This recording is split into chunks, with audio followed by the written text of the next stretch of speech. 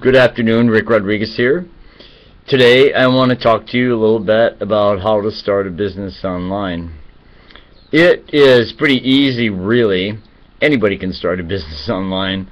But you need a bunch of tools and you should know a bunch of stuff before you start mucking around and wasting your time really, if you ask me. Now, some of the stuff you need is you really need someone to show you the ropes, like a trainer or a coach. I have a coach and a mentor. He's helped me a lot. I love the guy. Uh, then you you need um, state-of-the-art software for tracking and all this other stuff. Because when you go out on the internet and you start to advertise all this stuff, then you want to know what is working. And if you can't figure out what's working, you're just like, uh, you're wasting your time. So the business that I'm in uh, offers uh, coaching and mentoring, and I've hired coaches for the people that come in and want to utilize it.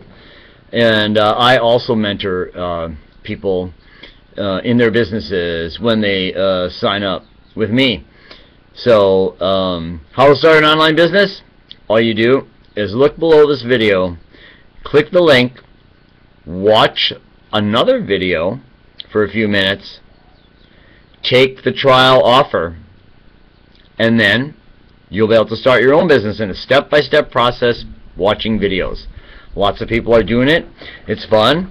I'm doing it. I've done I'm doing it every day. I'll help you do it. So how to start a business online? Take the trial. Click the link underneath there right underneath this video or if you're watching this video on on my blog there'll be a link there and you can click on it and take the trial. And then when you do, you'll see me in the back office there.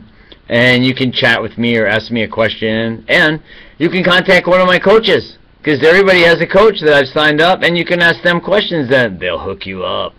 That's right. These, these coaches are making money in the same system that we are. So, they're great. I love them. Okay, that's all I want to tell you guys. We'll see you in the back office. Click the link.